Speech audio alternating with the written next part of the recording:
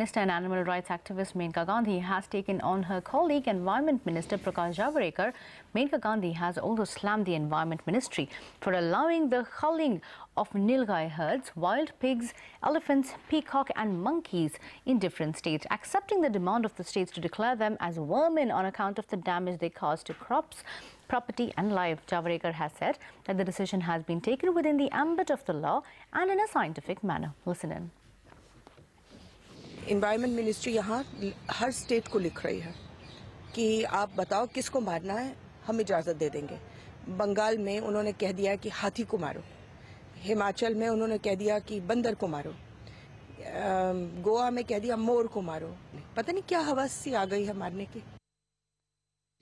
अगर राज्य सरकार प्रस्ताव भेजती है तो ही हम किसी विशेष भाग के लिए और किसी विशेष काल के लिए ही एक साइंटिफिक मैनेजमेंट के लिए वो राज्य सरकार के प्रस्ताव को मंजूरी देती है। ये केंद्र सरकार का कार्यक्रम नहीं है ये कानून पहले से बना हुआ है। Meanwhile, the